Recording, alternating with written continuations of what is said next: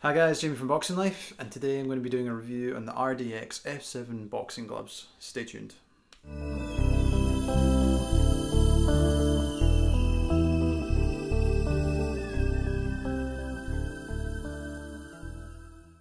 So before I get into the boxing glove itself, I guess just a little bit of background on RDX. So they're a British sports combat company and they create a whole range of different kind of equipment for, for mainly Muay Thai, boxing, MMA, and also just general fitness as well. Um, I'll leave a link uh, in the description below so you can check that out um, and see some of their other kind of gloves and stuff as well. So in the case of this glove, it's the RDX F7.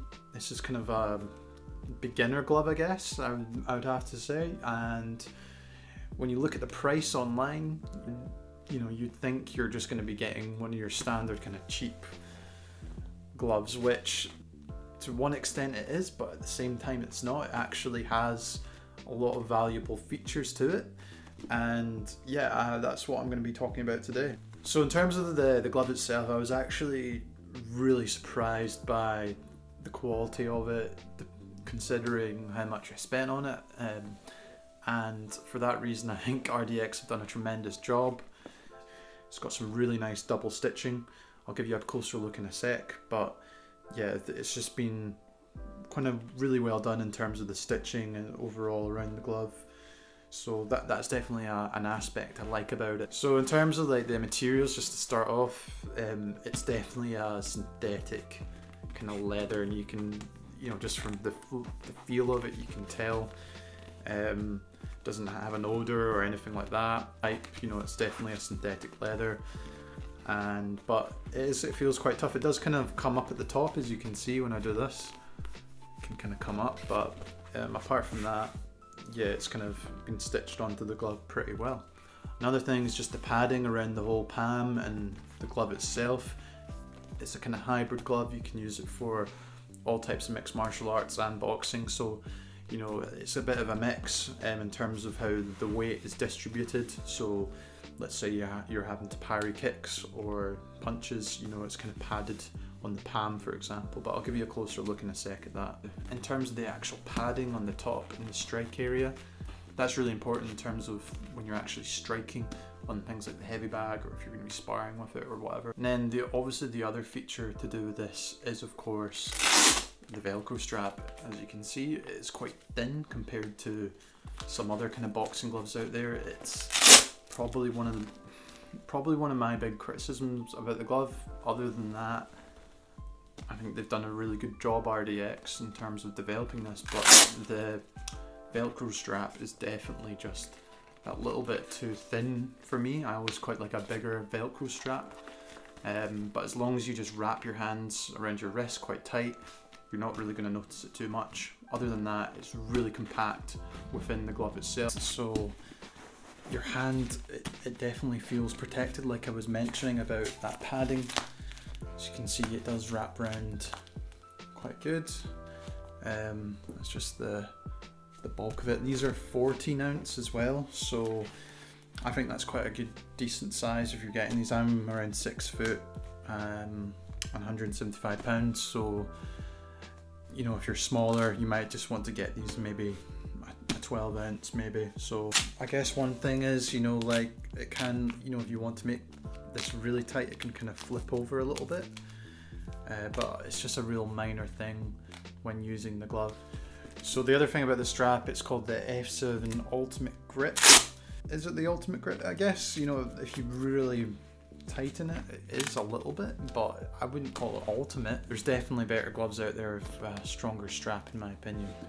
In terms of visuals for this, there's lots of different versions. It comes in things like you know pink, green, blue, and it's all this kind of same design feature. I think I have seen some slightly different like grey and gold version, which looks quite cool. So yeah, you might want to check that one out instead. Um, I'll leave a description below to Amazon so you can check out all the different color options and also RDX's website too. So now let's just have a bit of a closer look up at the glove just so you can kind of see some of the finer detail of it um, and just kind of give you a better idea. So here's a bit of a closer look up at the glove and as you can see um, the is actually quite good. Uh, it's a gel padding. For those that are wondering, it's triple sheet. It's got three layers of padding here, so as you can see, it's quite it's quite dense to push down on it, which is a good thing. Your hand definitely feels protected, and that kind of padding's all around the front, as you can see.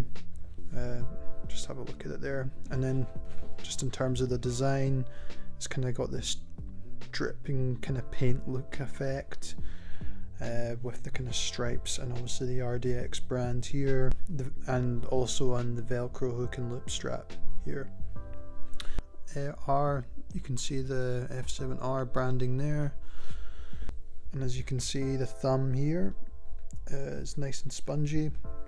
Thumb definitely feels protected and it feels very comfortable with my thumb. I've got quite big hands as well so this glove is actually quite good for that and it's got the attachment between the, the striking area and the thumb here just to attach the glove it's not much move you can't really move it about that much but still good enough. Um, I quite like some of the detail on this. It's got some really good double stitching as you can see here. It's really good and there's kind of enough of a gap here. It's kind of got this um, strap to kind of keep it tight and and there's a little bit of ventilation you can get in there. I got these in 14 ounce. And it's on the grip bar here. It's just a kind of typical spongy kind of foam which you get in a lot of the cheaper gloves. And it's got these kind of ventilation holes as you can see here and also in the inside of the glove I can't, don't know if you can see a couple in there. So I, I, I don't really pay too much attention to the ventilation holes. I think it will help a little bit but I think as I mentioned the kind of material that they've used for this glove it's probably worth just making sure you open them out after use or get a deodorizer to put in them. But yeah, overall the stitching I think is really good, especially just for the cost. It's they've done a really good job. And let's just give you a look at the strap, the vel actual Velcro strap, which is kind of maybe my main criticism of the glove. As you can see, it's quite thin, um, but it still is pretty solid. It's quite, you know, it goes around the whole arch of the glove here, so and you can see kind of some the leather's kind of stained clearly from the the strapping and some areas of the glove so that might annoy some people. It's not the end of the world but it's it's not nice that the dye is kind of going onto the white. But I guess if you get kind of a darker glove that probably won't come up. It's probably just because it's white but let's have a look at the velcro strap and then it's got kind of some of the branding and stuff in here. Handmade premium quality and I have to admit I have to agree with it. Um, quality approved high breathability performance gear and what does this say? Membrane grid. I don't know what that means but the padding is really like obviously this is a dual purpose glove so it can be used for kind of kickboxing or Muay Thai as well. So that's probably you know the padding in this glove just feels great I have to admit. That's one of the things I really like about it, it just feels very protected. And then if you just look in the inside it's kind of got the warning sign there and then it's kind of this kind of weird nylon material um, and it's all within the glove due to this kind of really dense padding throughout the whole thing and it does feel really it feels really soft and nice to wear. I'm not gonna lie, it's actually a really nice glove. Your hand does get a bit hot in it, I have to admit. I know it says about the breathability, but because of that kind of gel padding, spongy kind of material that they've used throughout the whole glove, you know, it's you can see it everywhere. It's in the the thumb, obviously the strike area, and then even in the padding here. You know, it does just feel kind of secure, and you know, some people like that, but yeah, I think overall RDX um, I've done a good job in terms of crafting it. Definitely well made glove considering the cost and that's a big bonus for me. In terms of the colors I kind of mentioned before you can get these in lots of variations and I think I quite like the red and white. It was kind of what was the one that kind of drew my attention good mix of the colours and then just have another look at the strike area here as well. Uh, it's kind of got these dots isn't it? Like in terms of where you should be striking maybe. I don't know what their kind of the, the purpose was that but you kind of want to be striking here anyway when you're using the heavy bag or sparring or whatnot. But yep they've done a good job. Um, some little faults to it you know like the staining obviously and the quite thin velcro strap but Yep, a good glove for a really good glove considering the cost. Before I finish up, I think it's probably best just to go over some of the pros and cons of this, um, just before you make a decision with if, if it's worth it for you. And I think one of the best things is probably just the, the the overall padding and distribution around the whole glove. Your hand feels very protected, especially for a beginner glove. I think that's great. In terms of the actual padding when striking, once again, you know, your hand feels very protected with that kind of strong base padding on the on the strike area of the glove. So uh, the other thing, it's just it's a very comfortable glove to wear. I find, especially you know, considering it's slightly cheaper. And then that leads on to my other point. You know, it's for a beginner glove. This is really cheap, um, and it's good quality. It's a great secondary glove as well. But you know, you can do all types of training with this which makes it a really good beginner glove to go with. And you're not going to be out of pocket spending your money on something like this. From what I've seen online, it's around probably in the UK £30.